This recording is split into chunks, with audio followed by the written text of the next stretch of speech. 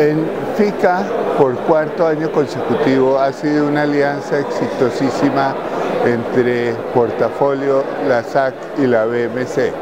La bolsa mercantil, lógicamente, es una bolsa de productos y aquí eso es lo que tenemos.